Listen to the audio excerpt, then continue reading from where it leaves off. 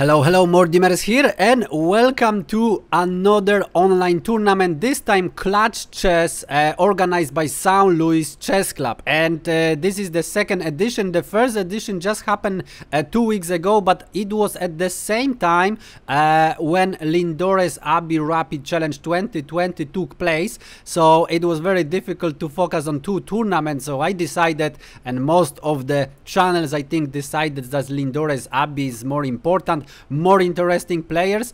And as in the first edition of Clutch Chess, there are there were only four American players, and now we have Clutch Chess International, uh, and this time is there are no other online tournaments. So this is definitely right time. Uh, we have eight players. So here we go. Magnus Carlsen got invitation uh, from Norway. Also Levon Aronian from Armenia, Alexander Grischuk from Russia, and uh, Ma Maxime Vachier-Lagrave from France. And also we have four American players, Fabiano Caruana, Wesley So, Leinier Dominguez and Jeffery Xiong. So uh, here we go, also 8 player knockout we start from quarterfinals. So uh, the pairing were determined by the rapid ranking uh, of of players. So as you see, Magnus Carlsen is on the on the top spot, and Fabiano Caruana uh, from the other side. So they can meet only in the final. Of course, if they win, uh, you know all the phases. So quarterfinals, then we have semifinals, and then finals. And now. Uh, the clutch chess prize funds uh, of course, this is the largest prize fund ever offered for an online chess event. That's official advertising of St. Louis Chess Club.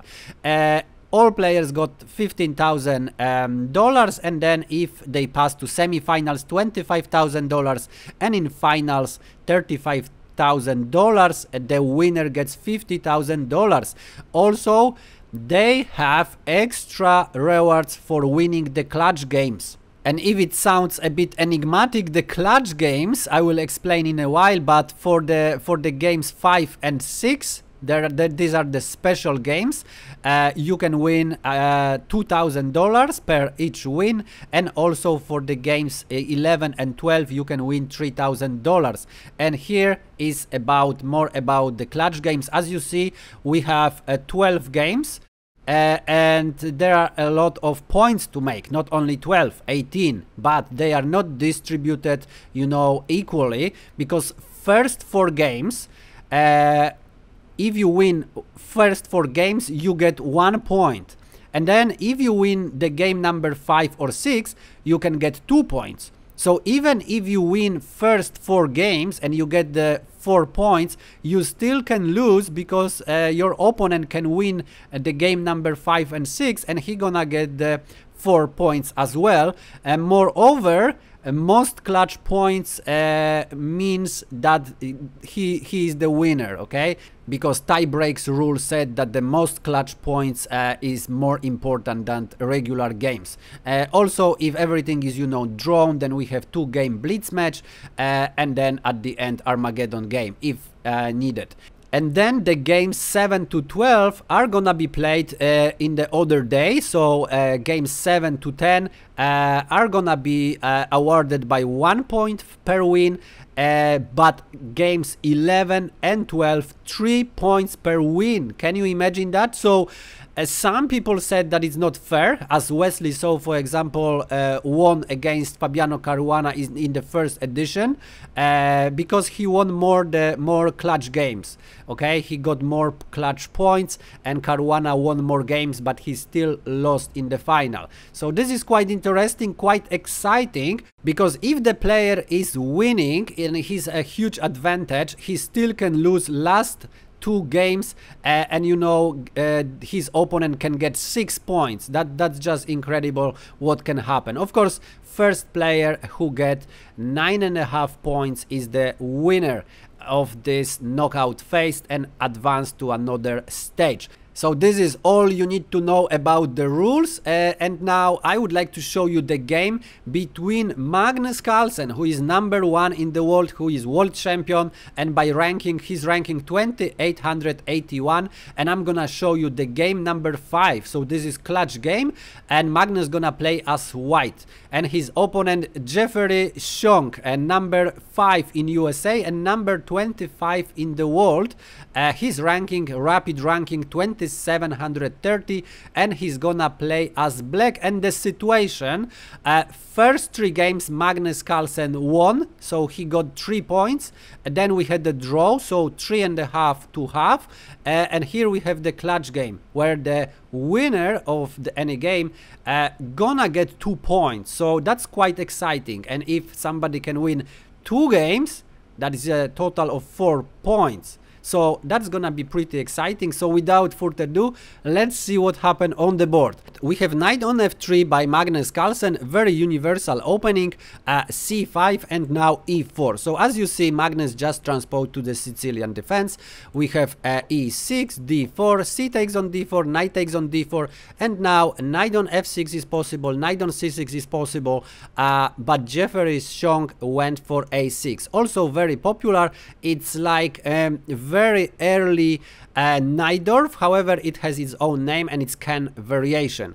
Uh, and now we have c4. So Magnus Carlsen uh, creates Maroczy bind uh, and now he don't let actually black to play d5 d5 is a very difficult when you know e4 and c4 pawns are on their places.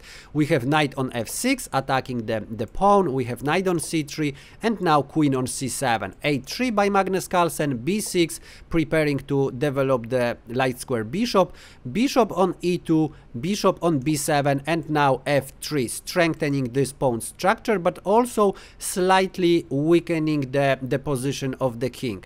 We have bishop on e7 and now bishop on e3 so it's better to keep the bishop on this diagonal uh, to defend the position of the king. We have castle by Jeffery and uh, castle by Magnus d6 and now rook on c1 knight b on d7 and now b4 we have rook f on c8 and now Magnus decided to move the king to the safety, king on h1. Uh, so now the, the, this diagonal is quite safe for, for the for the king. However, uh, also Magnus has to watch out, you know, the the first rank weaknesses. We have queen on d8, and now we have one game in the database where knight on a4 was played. Uh, however, Magnus goes first for knight on b3, and after knight on e5, attacking this pawn twice. Uh, only now he play knight on a4 and look at this.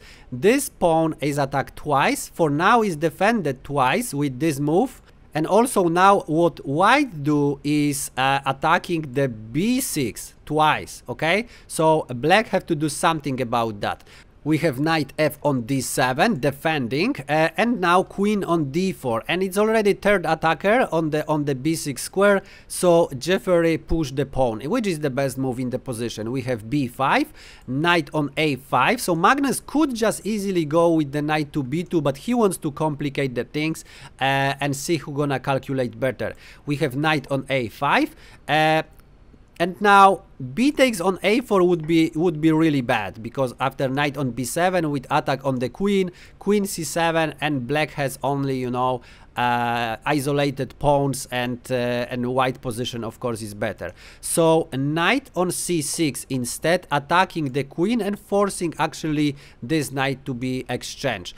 Uh, knight on b7 it looks like would be attractive but actually it's losing the pawn uh, because after knight on b7 knight on d4 and knight in d8 exchanging the queens. Then knight e2 with the attack on the rook. So rook on c2 uh, and now bishop d8 this knight now have to move. Knight b2 and this knight is trapped okay?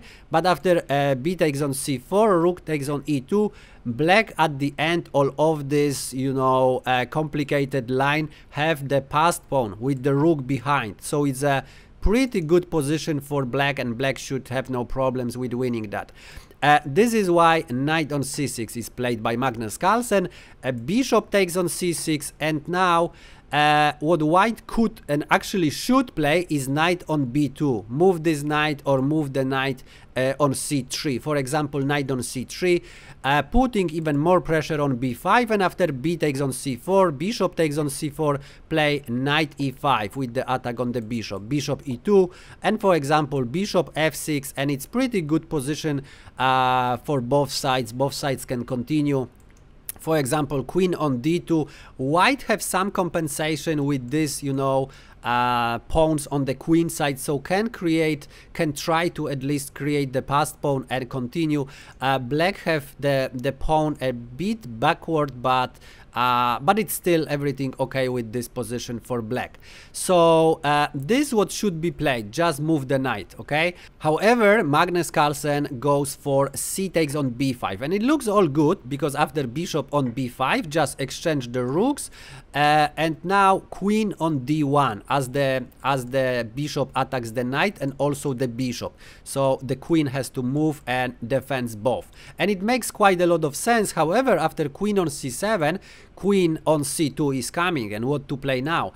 Magnus try bishop on d4 just you know preventing any bishop on f6 however queen on c2 is coming anyway uh, and now uh, this knight is attacked twice.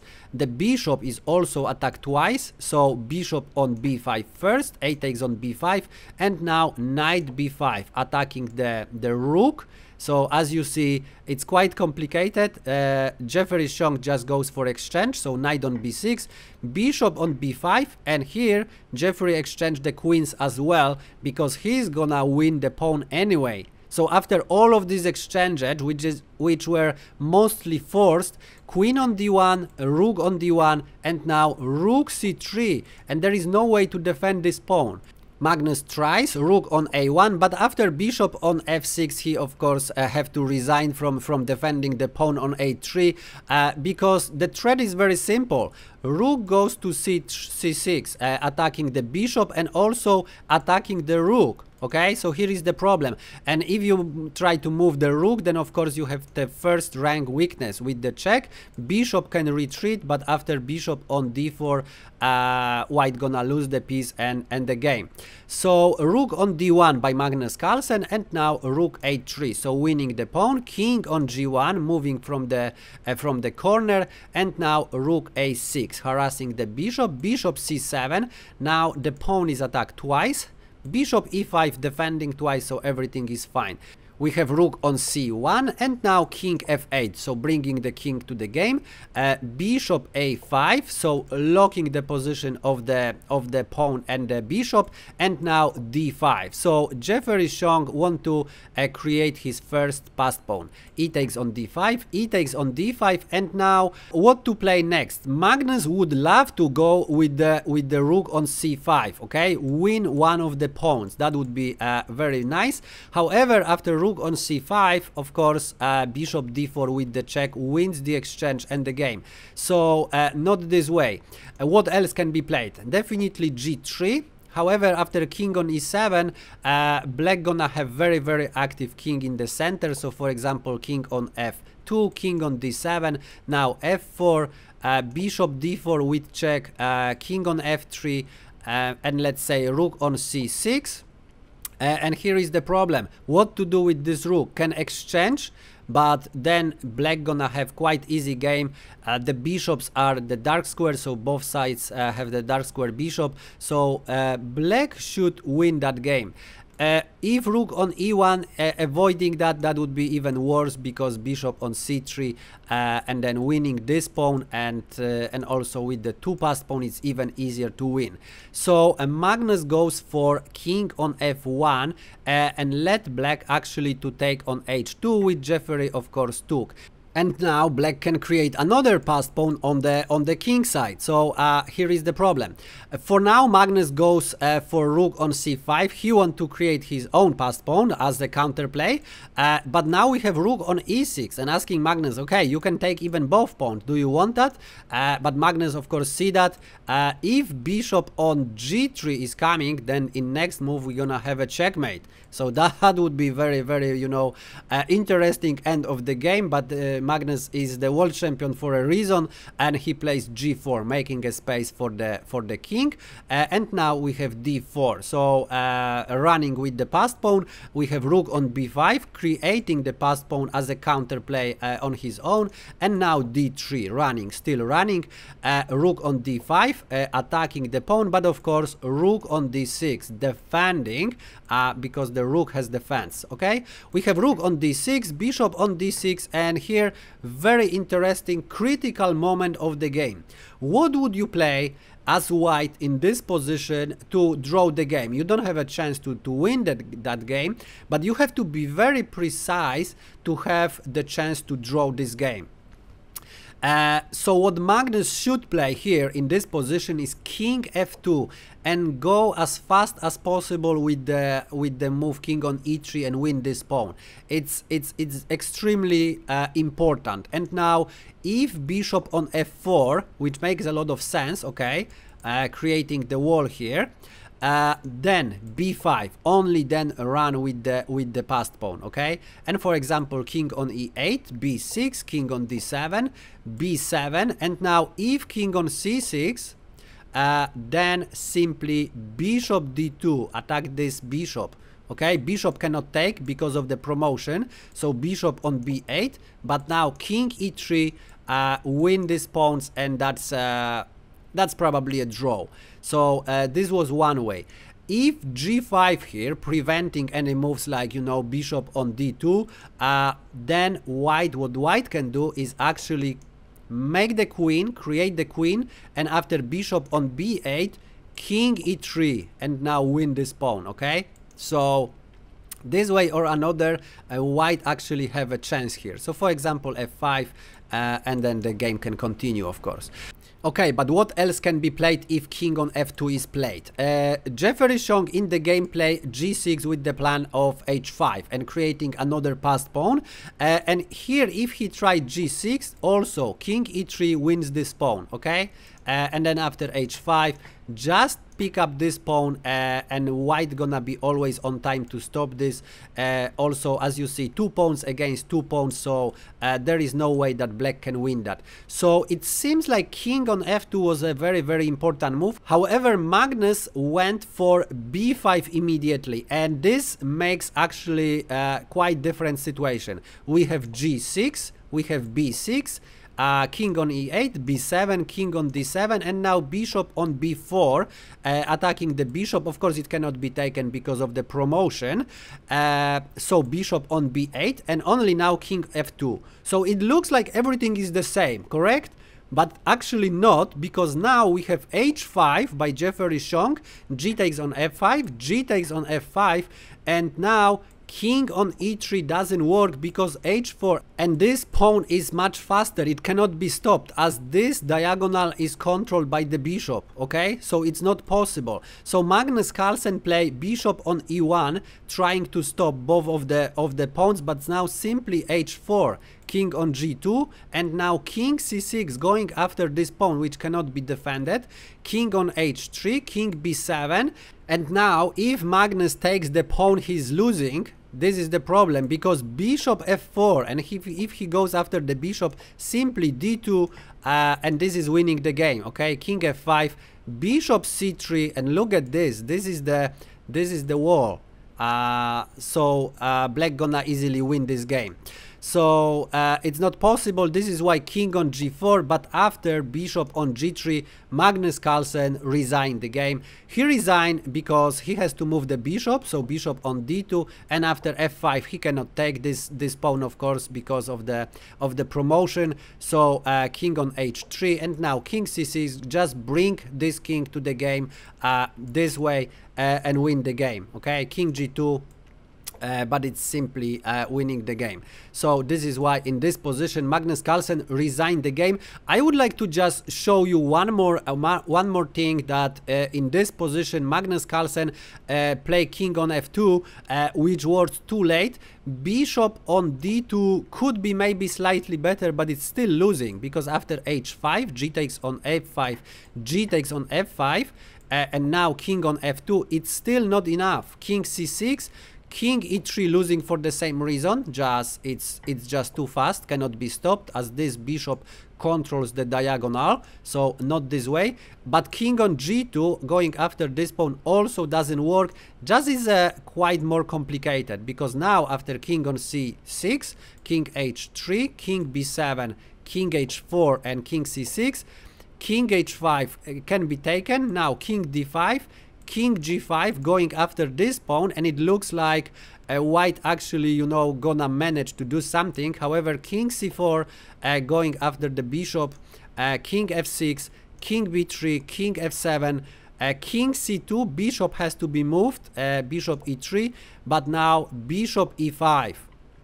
you see already the plan? If, if it's f4 uh, then bishop d4 and the bishop has to be exchanged so that is the problem uh, and of course we have the promotion and win the game. Uh, and if king on e6, for example, attacking this bishop, then bishop can actually go to b2. And after f4, bishop c1, okay? And if the bishop is moved, then of course promotion. So after exchanging, it looks like it can be a draw, theoretical draw. The problem is after f7, if you remember from theory, uh, h pawn, f pawn, f c pawn and a pawn this should be a draw. However if the king is closer in this case queen d8 wins the game okay? In the next move uh, queen goes to f8 uh, and it's of course winning for black so uh, there was no way to play you know king f2 it was already too, a too late. A bishop on d2 also didn't help. So the only way to win actually this is uh, instead of playing b5 first play king on f2 and only then run with the pawn and that would be a draw. Okay, so here we go. I would like to show you what happened uh, in the clutch chess. Uh, Magnus Carlsen then, uh, after losing, uh, draw another clutch game. And as you see, Jeffery Xiong managed to get three and a half points. Uh, Magnus Carlsen four and a half, but Jeffery Xiong won one of the clutch games, uh, so he got awarded with two thousand uh, dollars. And also Wesley So also won one of the clutch uh, bonus two thousand dollars, uh, but he won more games, five and a half to two and a half against Maxime Vachier-Lagrave. So that's what we had yesterday. Today, another round and another pairings.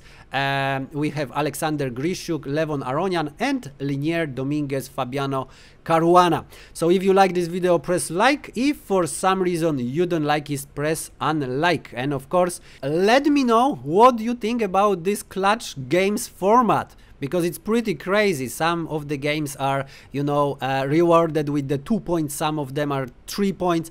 Uh, definitely the players have to play under huge pressure. At the end, they have they can have a good tournament, win a lot of games, but at the end, you know, losing one or two games, that would be a disaster. Let me know in the comment what you think about that. And if you don't want to miss other games from that tournament, press subscribe, smash the bell button. Thanks for watching and see you in the next one.